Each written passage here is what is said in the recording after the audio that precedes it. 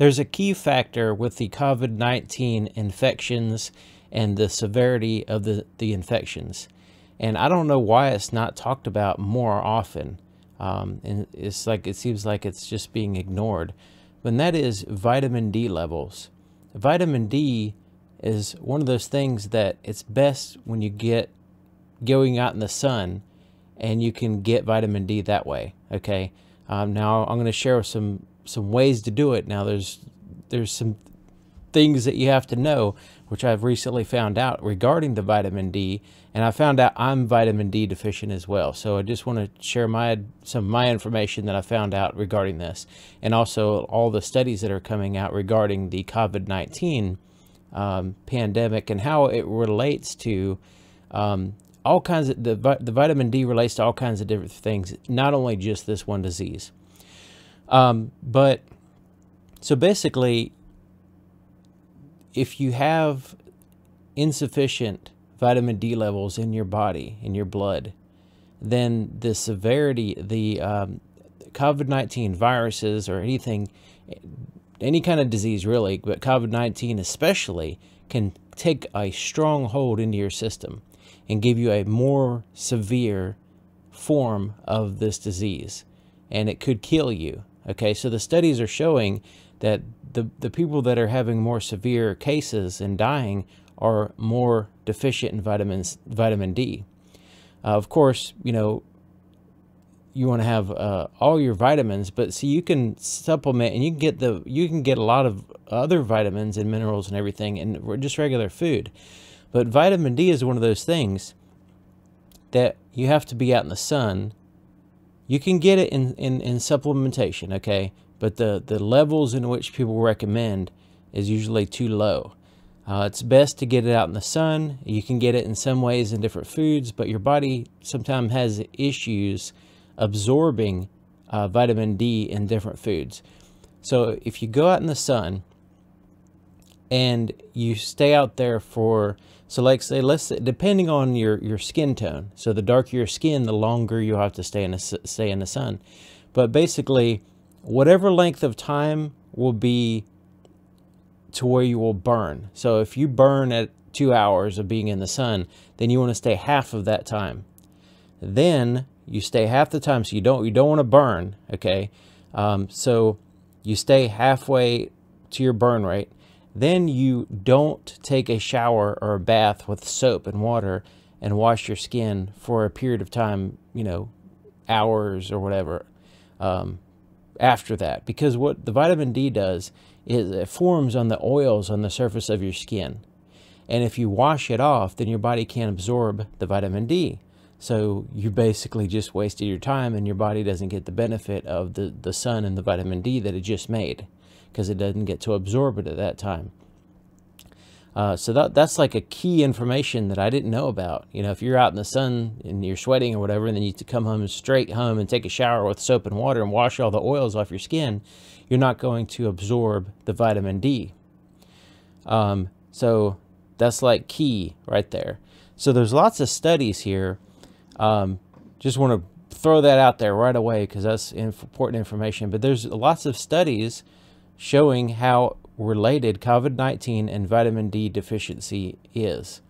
And especially with the darker your skin, that's, that's something that is a big deal um, because if you are, if the angle of the sun is too steep, in the wintertime it's very steep, uh, the angle is very acute, so it's not getting enough rays to get to your skin to give you the vitamin D benefit. So in the summertime, it's it's it's straight up above you typically, and depending on where you're at, and uh, so you get you know more vitamin D, ability to make more vitamin D.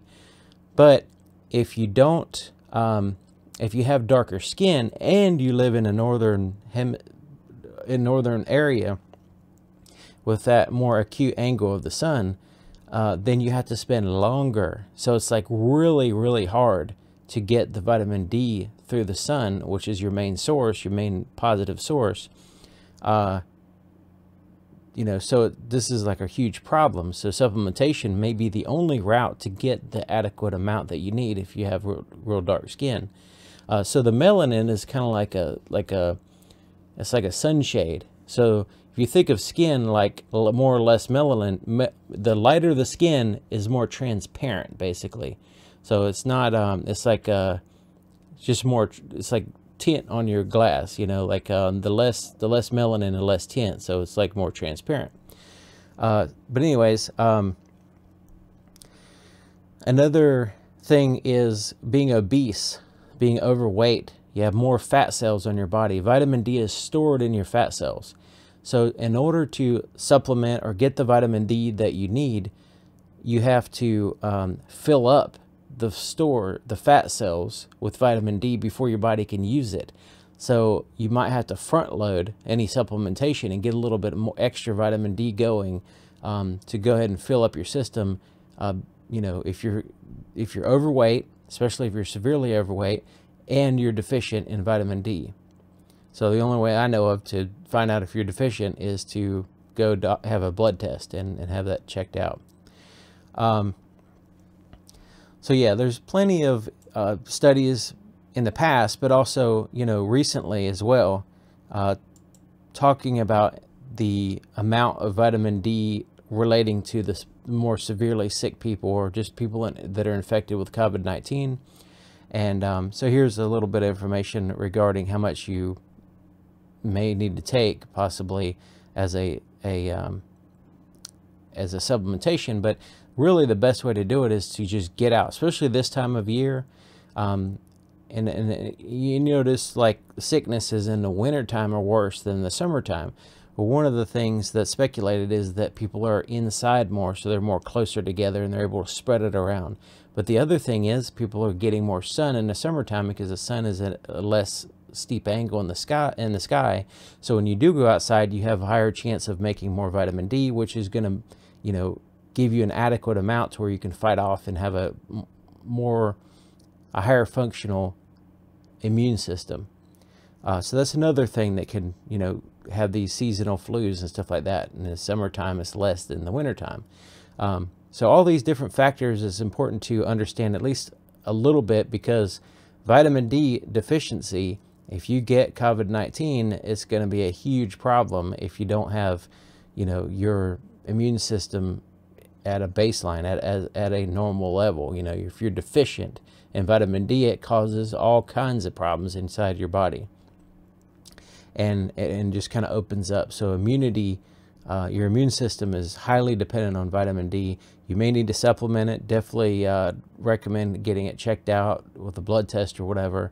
Um, but it takes time to build up. So, it, you know, you might want to consider starting a supplementation immediately um, if you think that you don't spend enough time in the sun. Another thing is if you do spend, there, there's a couple factors here. If you do spend a lot of time in the sun, there's no way you can, the sun's going to over produce vitamin D to where your body is, you know, getting an overdose of it. Also, there is a, it's really hard to, it, it's possible, but it's really hard to overdose in supplementation.